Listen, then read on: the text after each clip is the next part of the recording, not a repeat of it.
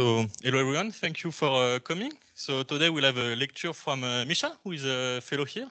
Uh, so it's a first uh, a part because it will be uh, two lectures on uh, small bodies in the solar system. So this is the first one on meteorite, and the second one should happen in August or yeah, further in time on asteroids. So thank you, Misha, and the floor is yours.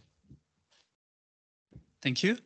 Yeah, so indeed, I wanted to give you uh, an in introductory talk about uh, small bodies in our solar system that would include both both the uh, laboratory perspective of st studying meteorites and the astrophysical uh, perspective of studying asteroids and comets uh, using uh, big telescopes like ESOs.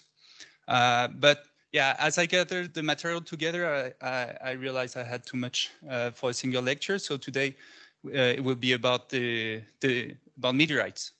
Okay. So uh, for people in this room who study like big objects, stars, galaxies, or even the universe as a whole, uh, meteorites and small bodies might seem may, maybe a little bit insignificant, but I hope I will convince you in this talk that they are scientifically extremely important for anyone who uh, wants to understand planetary formation and uh, studying protoplanetary disks um, so one of the reasons why we, we care about small bodies in our solar system is because they are tracers of the chemical and thermal condition that prevailed in the uh, protoplanetary disk 4.5 billion years ago. So, you know, on Earth, all the rocks were processed geologically. At some point, the, the Earth was a giant, giant magma. So we lost this information about uh, the, the early solar system in Earth's rocks. But this is not the case, at least for some um, some uh, categories of, uh, of meteorites that have retained this information about our protoplanetary disk. The second reason is uh, that um, small bodies in our solar system are exquisite tracers of planetary migration that happened during the first million to 100 million years of uh, solar system evolution. So where we find small bodies today in our solar system and where we don't find them allows to put very important constraints on uh, dynamical models that try to reproduce the uh, current architecture of, uh, of our solar system and uh, what type of migration happened uh, to in order to explain this architecture. Um, small bodies, they also source of uh, Earth's water and organic matter, amino acids, which are the building blocks for proteins, which are the building blocks for every living things on Earth, uh, have been found at the surface of these objects. So prebiotic uh, chemistry is happening in space on these objects, and it's possible that uh, the uh, complex organic molecule that led to the emergence of life on Earth, they were brought uh, by, by these objects. Uh, of course, studying our solar system is closely related to the study of uh, debris disks and protoplanetary disks around other stars. So from this uh, astronomical observation of uh, disks around other stars, we can get the pop population scale uh, information. Uh, when we study our solar system, we just study one system, but we can study it in very fine details to the micrometer scale inside meteorites, right? And uh, finally, we all know what happened to the dinosaurs in the past. They didn't have a, a space program. Uh, so, you know, we don't want the same thing happening to us. So understanding small bodies in our solar system is quite important for um, to mitigate the threat that uh, they represent for civilization and life on our planet. And of course, we all have in mind the, the DART mission that happened last year, which was uh, pretty amazing. The first planetary defense mission that tested um, a kinetic impactor on a small asteroid to to see if we we could uh, change its orbit just in case someday if we find one of these objects going in direction of the Earth, we will be prepared. Uh, so before going further, I'd like to classify, uh, clarify sorry, a few definitions about small bodies. Uh, that's for detail. so uh, what's the difference between a comet, an asteroid, a meteoroid, a meteor, and a meteorite? Uh, so comet is a chunk of ice and, and, rock that originated from the outer solar system. There are two main reservoirs. The, the uh, Kuiper belt located beyond the orbit of Neptune. And there's the Oort cloud that extends even further away. Uh, so the Oort cloud is the source of long period comets, so objects that have a orbital period of more than 200 years. I think that's the limit. And so as comets come close to the sun, they uh, start to sublimate their volatile species and they develop these beautiful tails. And that's usually how we uh, detect them and study them. Uh, asteroids are rocks that uh, are usually between the orbit of Mars and Jupiter. But this is very simplified definition because now we find a lot of evidence for water ice in the asteroid belt. So from a physical uh, point of view, but also from even from an orbital point of view, the, the, the difference between comets and asteroids is not as clear as uh, it used to be. But let's say, okay, asteroids are rocky objects, maybe a little bit icy that are between Mars and Jupiter. And sometimes they get a little bit too excited by Jupiter and their uh, orbital eccentricity get pumped up and they end up on very uh, elliptical orbit that may uh, cross the orbit of the Earth. And when that happens, we call them NEOs, near-Earth objects. Uh, a meteoroid is basically a small NEO, or it could be also a small piece of of comet. So it's a space rock that's bigger than a dust grain, but smaller than an asteroid. And if it's unlucky enough to uh, cross the Earth on its path, uh, it will burn up it in, in, its atmosphere and become a meteor. So meteor is also what we call a falling star. And there are the streak of light that we see when the object enters the Earth's atmosphere and start, uh, starts uh, burning up. And if uh, the meteor is big enough so that it doesn't entirely consume itself in the Earth's atmosphere, then it will eventually reach the ground. And then, and then we call it a meteorite. So meteorite is a space rock that we found at the surface of the Earth. And meteorites are uh, scientifically extremely valuable for the reason I, I, told you before. And that's why we have people, uh, scientists, uh, coming to different places around the world to look for them. And one of these places is uh, actually the Atacama Desert.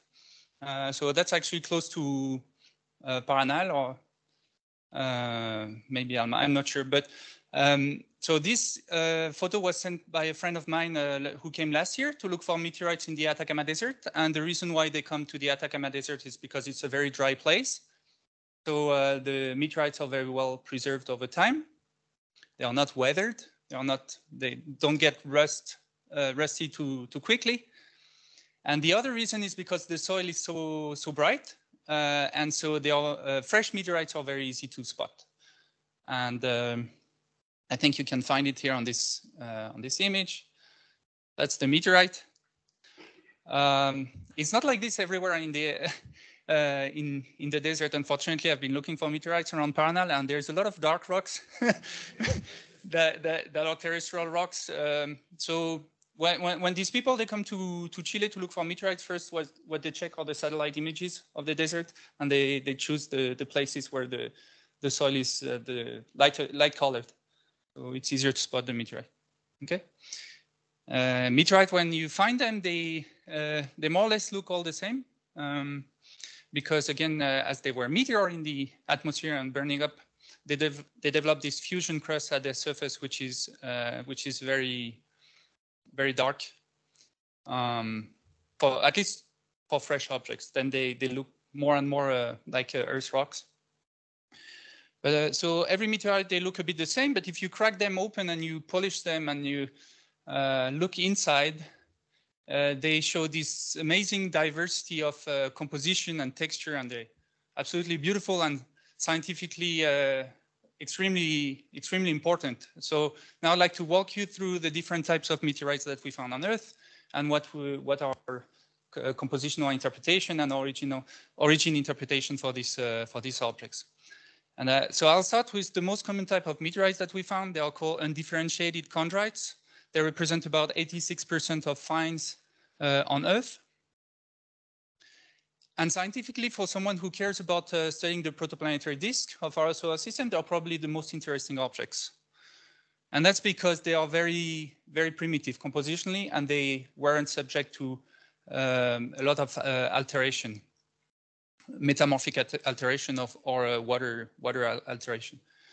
So here on the left, you have an example of undifferentiated, undifferentiated chondrite. It's meteorite Allende, like the former uh, Chilean president, but um, the name comes from a, a, village in Mexico where, where it was found. And if you look inside the meteorite, you see uh, this is what it, it looks like. So you, you find three main components inside these undifferentiated chondrites. The first one are chondrules. That's where the name chondrites come from. Chondrules are these little spherical uh, balls of silicates that you can also see here at the, the top left. And they are basically uh, solidified droplets of silicate that were melted at some point in the protoplanetary disk. They were melted uh, at very high temperature and then they cool down very quickly. We don't know what the mechanism was. There, there's a lot of papers being published on uh, possible mechanism. Could be uh, formation in bow shocks in the solar nebula. It could be energetic impacts between planetesimal. It could be uh, that they form it in X-wind during the T-Tauri phase of the sun it's it, it's not really clear. We we just know that these tiny balls of silicate uh, were melted, solidified, and then they accreted into uh, the, the the chondrites. And around these chondrules, you find these uh, what we call the matrix. The matrix, you can see it as a space concrete. It's a consolidated, uh, consolidated um, interplanetary particles that are uh, packed and they're very they are very fine grained. So it's a sub micrometer to micrometer uh, size grains. Uh, so they are mostly made of silicates, oxides, uh, other other things, and they they they they hold the chondrules together. Uh, and the third component are these uh, very light patches that you see on the image, which are the called CAIs, and CAIs means calcium aluminium rich inclusions. And those are the oldest solids that solidified in the protoplanetary disk. They are the, the most refractory element that we find in the protoplanetary in the solar system. And they are the first solids that formed 4.5 billion years ago. Okay. So for cosmochemists who study our solar system, that's when the, the clock starts ticking. That's the T0 for our solar system. The, the formation time of calcium aluminum rich inclusion and everything else is uh, dated with respect to calcium aluminum rich inclusion. In this presentation, I will explain how we know uh, these ages. As I say, these meteorites are very uh, primitive. Uh, on the right plot, you see the uh, elemental abundance of the solar photosphere as y-axis as function of uh, elemental abundances uh, inside um, uh, undifferentiated chondrites. And you can see that except for the most volatile elements like hydrogen and helium, but also oxygen, carbon, nitrogen, and the noble gas like neon and argon, there's a there's a very good match between the the solar photosphere and chondrites. Lithium is a bit off the curve, um, the one-to-one -one curve, because it's uh, I think it's preferentially destroyed in the convection zone of the sun, but otherwise the elemental abundances, they, they agree within a factor two or something like this. If you heat up, uh, if you take a, a chondrite and you put it in an oven and you heat it up, you will see some textural changes. So here you can see the chondrules. This is a very primitive chondrite. You see the chondrules and the matrix. Uh, as you increase the temperature, you will allow chemical exchanges to happen between uh, the chondrule and the matrix uh, until they eventually reach chemical equilibrium. If you heat them up at very high temperature, they will eventually melt and uh, recrystallize. And then you get uh, something that looks like uh, not a chondrite. you, you get something that looks like an achondrite. So an achondrite is um, is a meteorite, a type of meteorite that uh, represent about 9% of the, of the finds.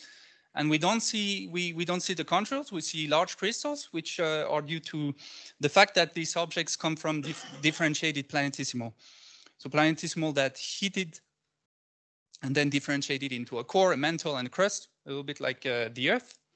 And so the, the achondrites will be fragments of the crust of these differentiated uh, planetesimals. And uh, interestingly, we have a tiny fraction of achondrite that come from the moon and other that come from Mars. We have meteorites from the moon and Mars in our collections. And they're also achondrites. Another type of meteorite that come from differentiated body are the iron meteorites. very famous, um, which uh, come from the core of uh, differentiated objects. Uh, so think about it next time you have one in your hand, you're basically holding a planetary core, which is pretty cool. And uh, they represent about 4% of the finds. And what's interesting about the, them, uh, one thing that is very interesting about them are these uh, diagonal uh, mineralogical structures that we find that we call, uh, I don't know if there's any German in the room, I'm sorry for, they are called uh, Widmanstätten pa patterns. And the Widmanstätten patterns, they have different thickness from meteorite from meteorite, and this thickness is related to the cooling rate of the parent body of the meteorite. So by studying these, uh, these patterns, uh, we can tell uh, we can infer the cooling rates of the parent body of these meteorites, and we can tell that from this cooling rate, these objects must have been uh, quite small, a few hundred kilometer in size. So, you know, that's the first constraint on the, the initial size of uh, planetesimals in our solar system. Uh, yeah, so we know basically that planetesimals formed uh, as bodies of a few hundred kilometer in size. And the last uh, type of meteorites that we find are stony iron meteorites. They are absolutely beautiful. They are quite rare. This on the left is a pallasite. If one day you find one, you're very lucky. They're very valuable scientifically, but also money-wise. this one costs uh, probably a few a few thousand dollars or a few tens of thousand dollars. I don't know. But if I were you, I would keep it if I found one because they are absolutely beautiful. And on the right is a mesosiderite. Okay. So we,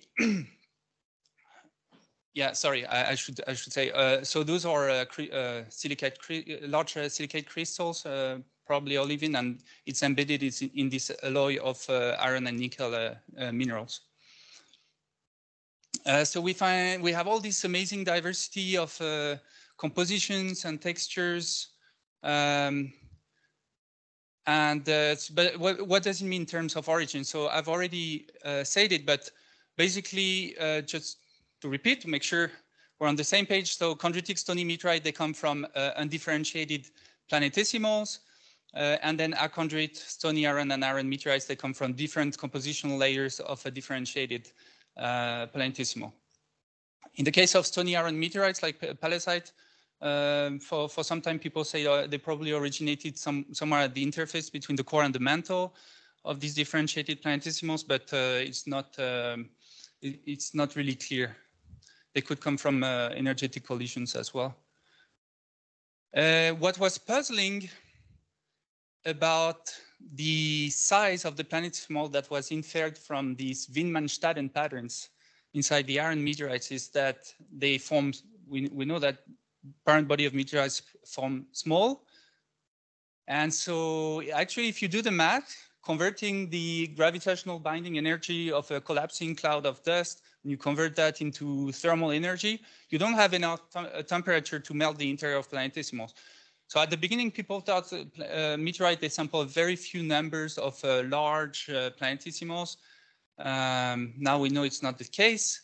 And it was uh, after some time that people understood that actually the main heat source in the interior of planetesimal was uh, radioactivity and in particular the radioactive decay of uh, short-lived isotopes like uh, iron 60 or aluminum 26. Aluminum 26 is the main heat source.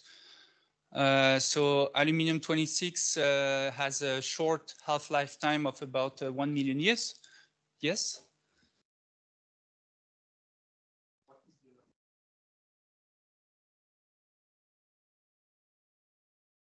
Oh, so you need something uh, Mercury, 2,000, 3,000 kilometer in diameter. Yeah. So for people online who didn't hear the question, uh, that's the size that, that is needed for, to melt an asteroid from the gravitational binding energy.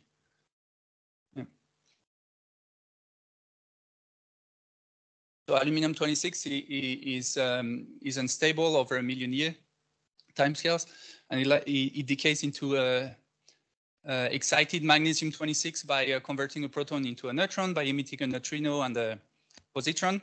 Then you get an excited magnesium that releases a photon and you get a quiescent uh, magnesium. And that's the, the main heat, heat source of uh, planetesimal. So now I'd like to talk uh, about the isotopes, uh, what we what we learned from the study of isotopes inside meteorites, because uh, they these isotopes are our main uh, source of information about where and when meteorites and therefore planetesimal formed in our solar system. I would like to start with where I, would like to explain how isotope can help us understanding where planetary formation took place.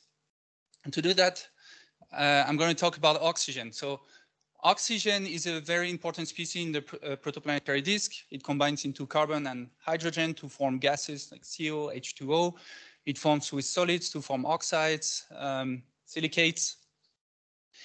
And uh, there are different flavors of oxygen in nature. Uh, oxygen 16, which is by far the, the most abundant, about 99.8% of uh, oxygen in is oxygen 16, and then you have oxygen 17 and 18, which are much more rare.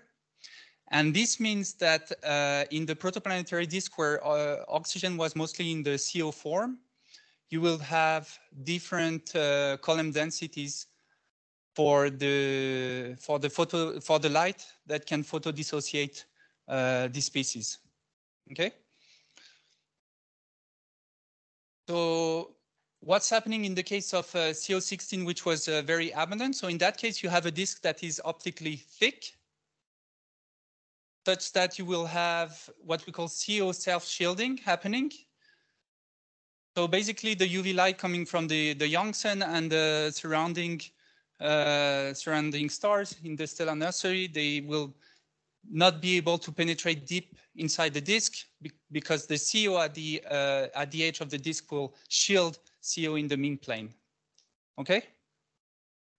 But in the case of a much more uh, rare version of oxygen, like oxygen 17 and 18, the disk was optically thin, and then the radiation can go deeper, and then you will uh, photodissociate uh, carbon and oxygen even in the even in the mean plane of the disk. Okay. And then so you release some oxygen that can combine with hydrogen to form water molecules. And what hydrodynamical simulations show is that this water molecule can migrate inward uh, through, sorry, through uh, turbulent forces and they eventually react with silicates. So we have CO with oxygen 16 that stays in the CO form in the mean plane. You have CO 17 and 18 in H2O molecules that migrate inward so you end up with a disk that is enriched in uh, heavy oxygen towards the inner edge of the disk, uh, whereas the outer edge of the disk will be uh, lighter in uh, light, uh, sorry, lighter in terms of uh, isotopic composition of oxygen. And so from the isotopic abundances that we measure in meteorites and planets, we can tell which objects shared common origins and which one form a different location. Okay, so that's for the for the where, how isotope can uh, help us constraining where the, all these objects form. And, and now I'll, uh, I'll talk about the when. So the when is we have to turn to uh, radioactive species. So I already talked about aluminium 26. Remember our main source of energy in planetesimals. Well, aluminium 26 is also super useful to uh, date the ages of, uh, of, of, of, rocks, of uh, meteorites. Uh, but yeah, it's not the only one. So here is a sketch that um, illustrate our current understanding of planet formation from micrometer-sized dust to uh, planet-sized objects. So you start from the condensation of dust in the protoplanetary disk from, from the gas. So you form submicrometer to micrometer uh, sized dust. Then they, uh, these dust will um, agglomerate into centimeter, centimeter size uh, uh, um, agglomerates. And uh, rapidly you go from centimeter size to uh, hundred of, well, kilometer or hundred of kilometer size planetesimals. Uh, we think the like the the the current um, uh, mechanism to do that is uh, like rapid pebble accretion in uh, streaming instabilities in the disk. So you rapidly grow from centimeter size objects to kilometer size objects or larger. And then you will have um, planetesimal growing through uh, collision into planetary embryos And uh, so things like the, the size of Mars and the planetary embryos, at some point they will um, form uh, planet-sized objects through chaotic, uh, chaotic growth. So very big collision between uh, Mars-sized objects. And so meteorites from their uh, isotopic record, and in particular the isotopic record of um, radioactive species, they can help us constrain when each of these uh, steps happen in the protoplanetary disk. So when these objects are created, they are created with some radioactive elements. One of them was uranium-235. Uranium-235 likes to decay into lead-207. So uranium-235 is the parent species, lead-207 is the uh, daughter species. And so the number of uh, lead 207 that we that we measure today in meteorites is what existed originally when the object accreted, plus the number of uh, uranium atom that decayed into lead 207. Okay. And so from the number of atoms that decayed is related to uh, the decay constant of the species, which in the case of uranium-235 is about a billion year, 700 million years. And uh, delta T, which is the formation time of the rock, okay? And that's what we are interested in. We want to know uh, when these rocks um, uh, formed.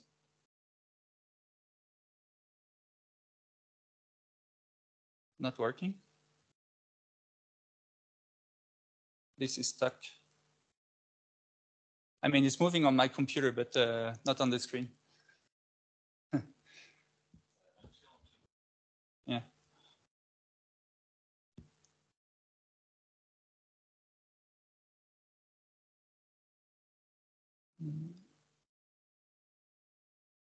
Okay.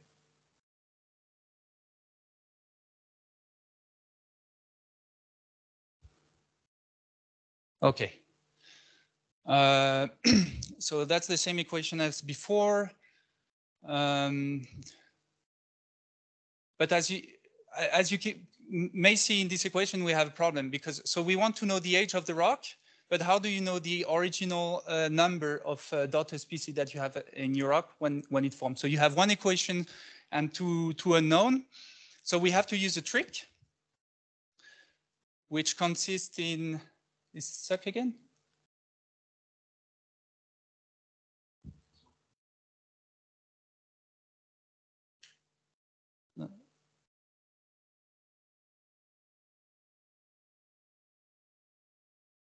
Okay. Uh, so you, yeah. So you, we need to use a trick, uh, which which is dividing each term of in this equation by um, an abundance of a stable version of the daughter species. Okay. So remember the the um, lead 207 is the daughter species of uh, uranium 235, and lead 204 is a constant. Okay.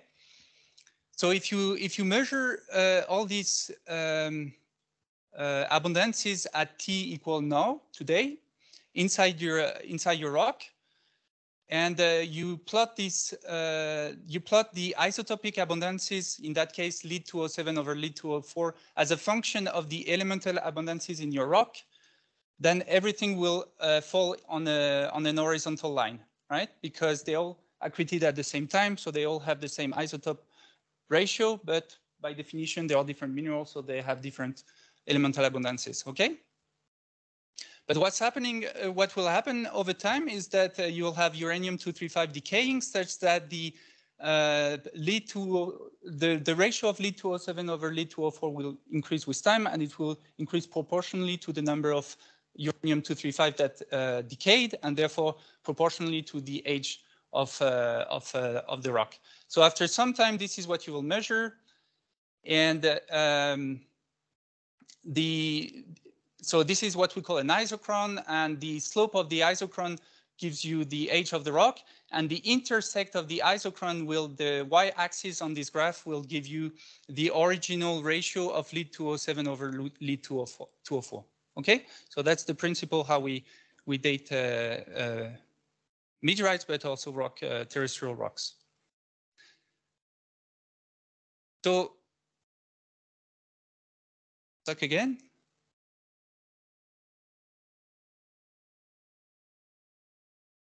Okay, so what, what, did, what did we learn from this measurement? So let's go back to undifferentiated chondrites. You remember that they are made of uh, three different components, the chondrule, the matrix, and the calcium aluminium rich inclusions. So in the case of calcium aluminium rich inclusion, these will uh, were dated thanks to the uranium lead uh, isochrone diagrams back to 4.57 billion years old, okay? This is true both for pristine uh, CAIs and CAIs of centimeter size, so centimeter, centimeter size agglomerates that were melted, thermally melted and uh, reaccreted and uh, recrystallized, sorry. So we, we find the same ages within error bars on the measurement. And this uh, tells us that the we went from um, micrometer size grains to uh, centimeter size aggregates in less than 50,000 years. And that's uh, that upper limit comes from the precision that we can from the radiometric dating. Okay. Then the chondrules were dated from contemporarily to uh, CAIs up to 4 million years after CAIs. And all, all these elements were accreted together in the same bodies that again are a few hundred kilometer in size. And so we know that we went from sub uh, micrometer size dust and centimeter size aggregate to um, planetesimal uh, size objects, a few hundred kilometer in size in less than 4 million years. Okay. So let's go back to the to this sketch. From the radiometric measurement of calcium aluminium rich inclusion, we know that condensation started about 4.57 billion years ago. Then we have the growth to centimeter size objects in less than 50,000 years. Then we have formation of uh, planetesimal and even planetary embryos in uh, less than four, 4 million years.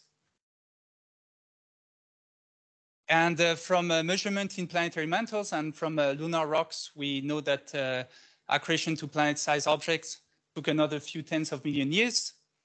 The moon forming, uh, the moon forming event, which uh, is one of the last big step of accretion for our planet, was dated somewhere between 30 and 150 million years old. It's quite uncertain in the literature. There's a big fight about these numbers. And uh, actually, I have a project with ARIES to try to get an ind independent measurement on that. We'll see if it works. Um, and so uh, let, let, us compare that to the astrophysics per perspective of studying young stellar objects. And this slide is mostly for people who study uh, protoplanetary disks, maybe people from ALMA. Uh, so we usually talk about uh, young um, stellar objects in terms of class zero, class one, class two, and class uh, three phases uh, following the collapse of the parent uh, molecular and uh, uh, cloud. And the, the difference between these uh, different cla classes is the, the amount of um, black body radiation that you can measure from the dust in the system with respect to what you measure from, from the stars. That's very simplified, but as uh, as the the uh, planetesimal formed and the the, dust gets cleared, uh, you, you get more and more uh, radiation from uh, from the star and less and less from the from from the surrounding dust. Okay. So um, it's been argued that the first condensates uh, CAIs form somewhere between the class one and class two. So that's the formation of calcium aluminium rich inclusions. And the reason is because we found beryllium-10 uh, isotopes in the meteorites that are supposed to have formed during the T-Tauri phase uh, of the sun. Uh, I've talked to ALMA people yesterday and they strongly disagree. They, they, they, they think the uh, condensation starts in the class zero phase and then uh, the formation of uh, planets uh, at least the, the giant Jupiter should take very short time, like less than a million year. So I don't know. There seem to be some inconsistencies between the meteorite record and the observation of protoplanetary disks, which is uh, quite interesting in some way. And then we have the formation of the chondrules between zero and three uh, million years or four million years after the ca calcium aluminum rich inclusion. So that would be between class, class two and uh, class three. And the melting of planetesimal, which, uh, which would have happened contemporarily between one and five million years after the formation of calcium aluminum rich inclusion.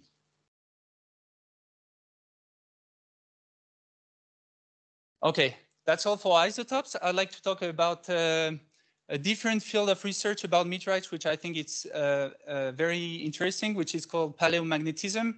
It sounds like a very a bit weird as a word, but it's quite, actually paleo just means old and magnetic means magnetic. So it's the study of ancient magnetic field that was recorded in uh, in meteorites. Okay.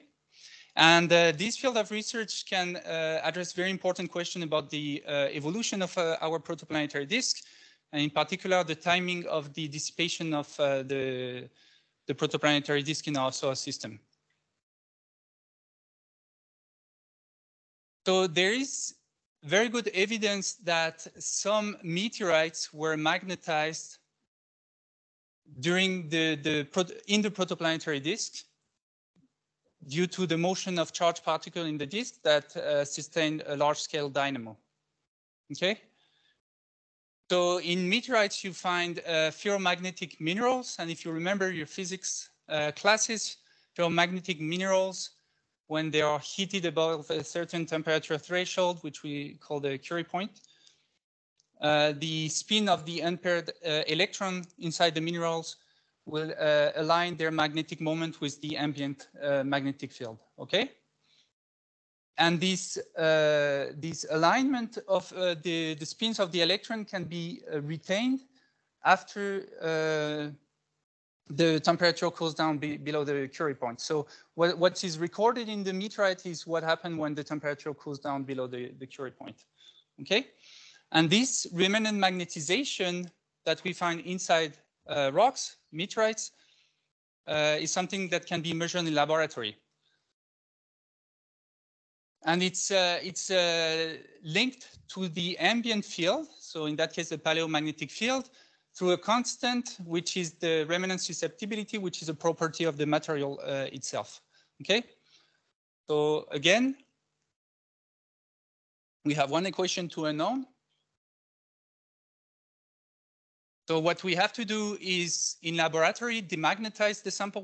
Once you've done your measurement, you have to demagnetize your sample and then you remagnetize it progressively with a known electromagnetic field in your laboratory and you measure the uh, induced magnetic moment in your rock. Okay?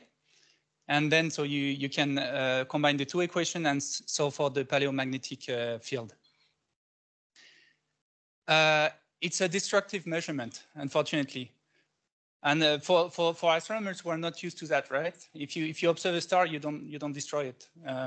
Worst case scenario, if you screw up your observations, you, you, you have to write another proposal and come back next year and, and repeat your observations. But for, the, for, for these people, you know, if they screw up, uh, the, the information is gone.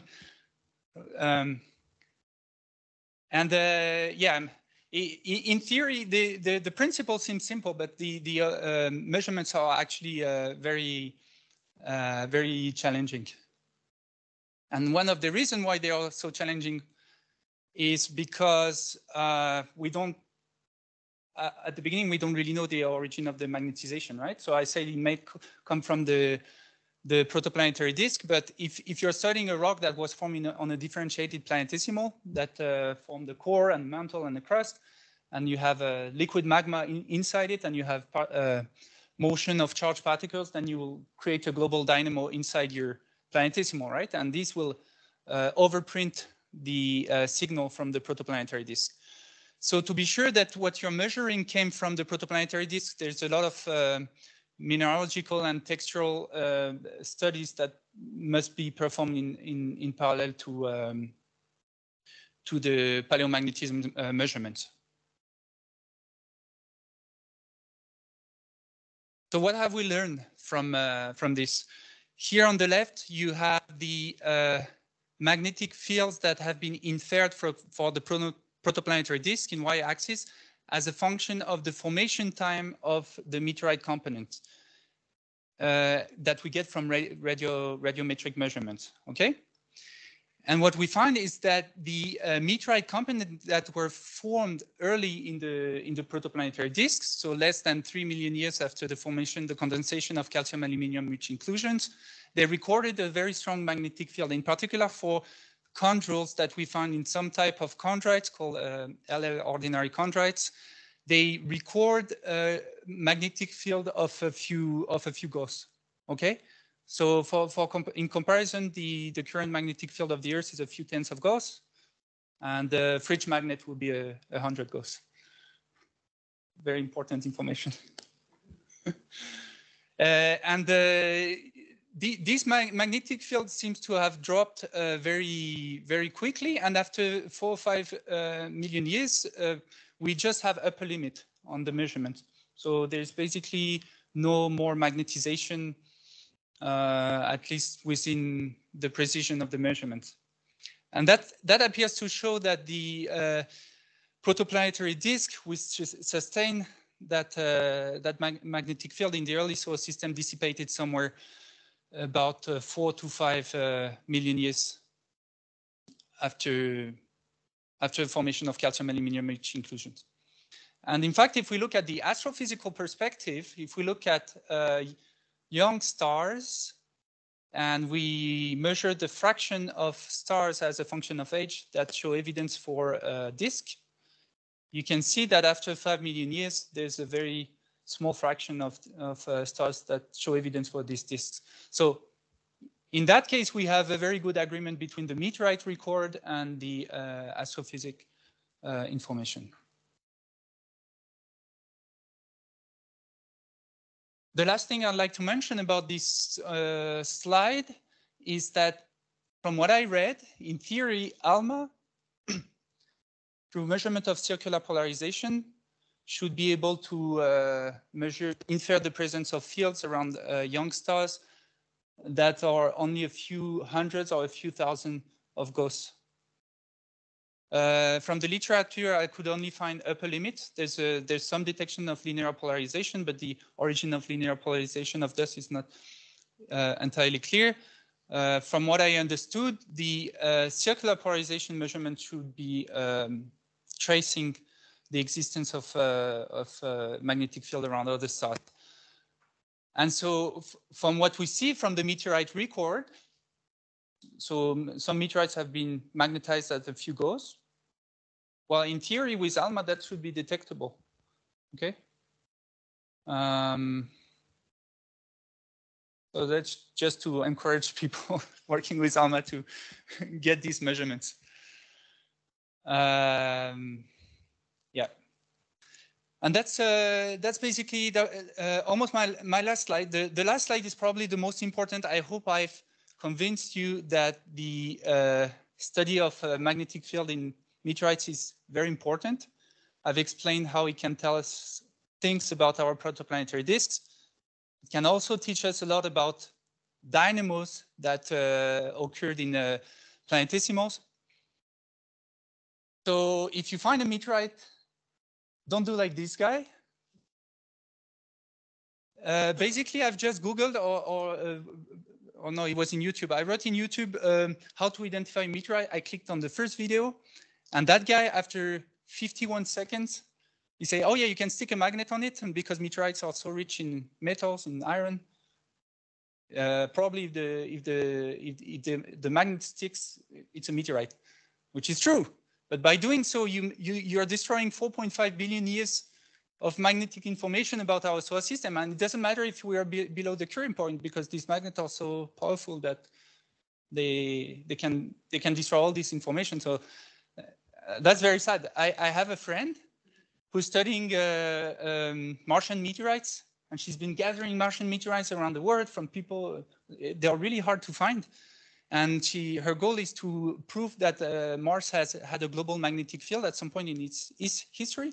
And if he, if he did, it means it could have sustained an atmosphere and water. Uh, water. So, so you know, it's pretty significant to, to know this kind of stuff. Uh, and all the meteorites that she got, they were all remagnetized by hand magnets, all of them.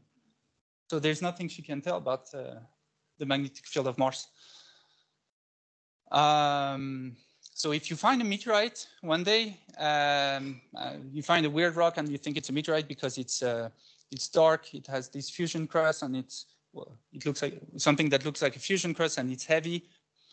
Uh, then just bring it to a museum or bring it to someone who knows about meteorites, and uh, they will be able to perform some non-destructive measurements uh, that, that allow to confirm the, the nature of these rocks. Okay, so I hope if, if there's one message from this presentation that you remember, it's, uh, it's this, this one, okay? Uh, so that's the end of this lecture. The next one will be about the astrophysical perspective of studying uh, asteroids and comets using ground-based and space-based uh, telescopes. If you want to learn more about this subject, I have a, I have a YouTube channel where I sometimes post uh, some uh, interviews of people uh, working in the field. There's interviews about meteorites, space missions to asteroids, planetary magnetic fields. I've also started to interview some people at people at ESO. if you want to know who, just uh, click on, on this uh, video. We have very talented science communicators among, uh, among us. And that's it. Thank you very much for your attention.